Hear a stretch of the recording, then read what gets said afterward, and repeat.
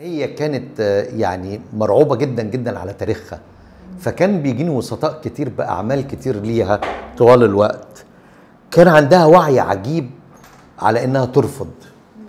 مش من أجل الرفض. هي كانت حريصة على فكرة إنه هي هي مدركة حجم التاريخ بتاعها شكله عامل إزاي. وجماهيريتها أنا عايز أقول لك إن عندها جماهيرية آه، صعبة اوصف لك يعني أنا في مرة تواجدت معاها مثلا في السعودية. اندهشت جدا جدا من الجنون اللي عند الشباب بسهير البابلي يعني هي حتى نفسها كانت تقول لي تقول لي أنا بستغرب قوي إن دول ما حضرونيش. يعني أنا معتزله يا عمر اديلي 20 سنة. إزاي الولاد دول مرتبطين؟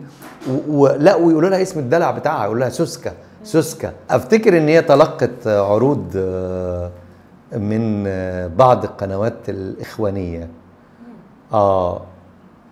وبحسها ووعيها العجيب رفضت. يعني كان عندها عروض مغرية قوي بتقديم برنامج وعمل حاجات كتير قوي. الارتداء الحجاب هو لا لا لا لا لا بعد الحجاب بكتير يعني ده بعد الثورة وكله يعني.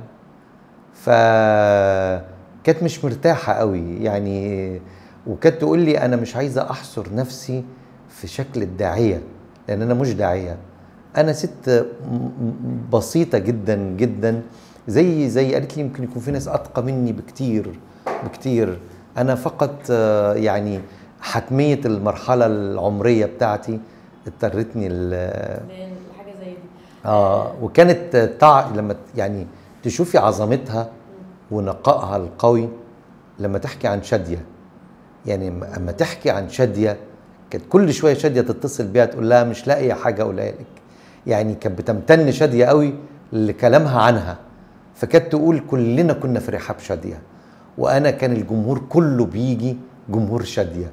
آه بمنتهى ال...